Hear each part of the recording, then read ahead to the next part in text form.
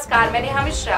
आप देख रहे हैं एमएनएस न्यूज़ लाइव लोकसभा चुनाव 2019 दिन भर पैदल चलकर इस इकलौते वोटर्स के पास पहुँचेंगे चुनाव कर्मी लोकतंत्र में एक व्यक्ति का वोट काफ़ी मायने रखता है। इस बात को बखूबी ध्यान में रखते हुए चुनाव कर्मी अरुणाचल प्रदेश के एक मतदान केंद्र आरोप एकमात्र मतदाता तक मुश्किल भरे रास्ते से चुनाव के दिन पहुँचेंगे ताकि वह अपने मताधिकार का इस्तेमाल कर सके। सोकेला तायांग नाम की एक महिला अपने बच्चों के साथ मालो में रहती है, जो अंजाव जिला मुख्यालय हायुलियांग से उनचालीस किलोमीटर दूर है।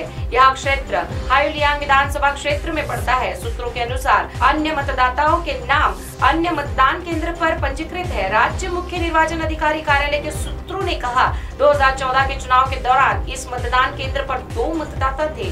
लेकिन कुछ कारणों से सोकेला के पति जानेलाम तियांग ने अपना नाम इसी क्षेत्र के किसी अन्य मतदान केंद्र पर पंजीकृत करा लिया। उप मुख्य निर्वाचन अधिकारियों को हायुलियांग से मालोगम मतदान केंद्र तक पैदल चलकर जाना होगा और इसमें पूरा एक दिन लगेगा। तो आज के लिए खबरों में इतना ही। एमएनएस न्यूज़ लाइव देखने के लिए आज प्ले स्टोर से एमएनएस हिंदी ऐप डाउनलोड कर चैनल लाइक सब्सक्राइब करें और नोटिफिकेशन के लिए बेल आइकन दबाना ना भूलें। धन्यवाद।